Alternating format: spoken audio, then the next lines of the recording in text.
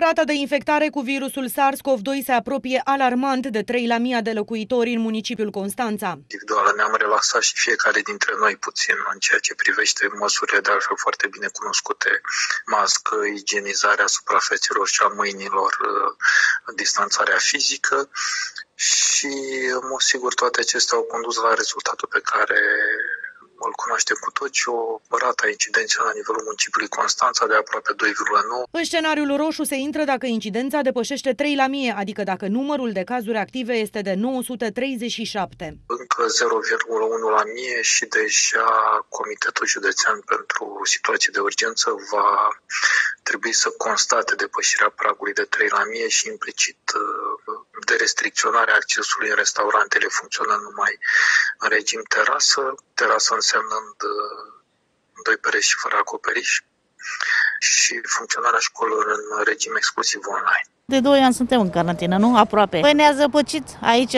nu știu, ne-a zăpăcit uh, România. Și la nivelul județului incidența este în creștere. Există deja patru localități în scenariul roșu și alte trei care se apropie de acest prag. De la debutul campaniei de vaccinare, la nivelul județului Constanța au fost imunizate aproape 70.000 de persoane.